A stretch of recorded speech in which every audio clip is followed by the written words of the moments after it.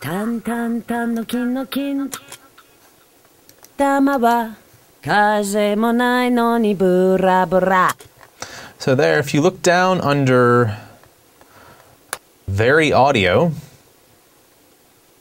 I'll hit play. This is really interesting. You can grab this, and this works a lot like Melodyne.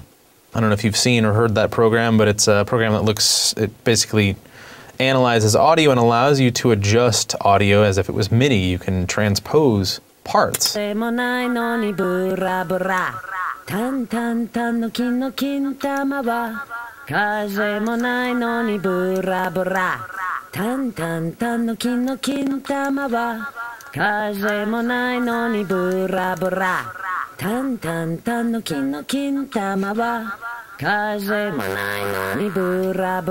So you can do some really interesting things.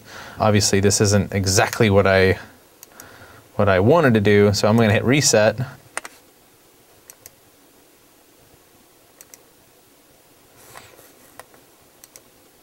So we're back where we started from. There's this button down here that says extract MIDI. If I click on that, I get this box right here. I hit OK.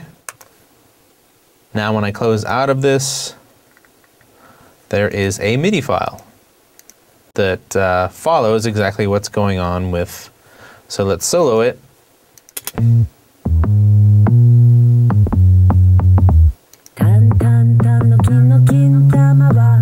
Pretty cool stuff.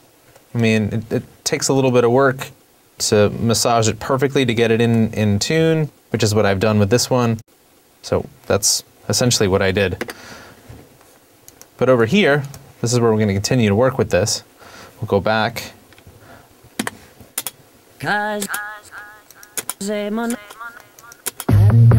Ooh, I gotta turn that down.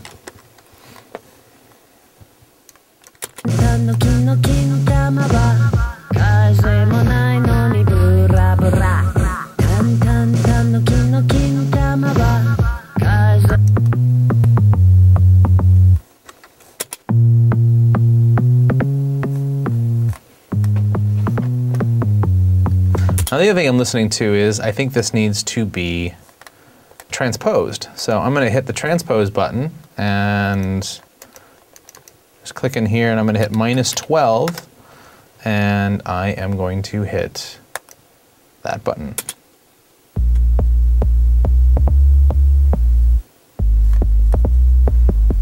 There we go. Nice low frequency bass to go along with uh,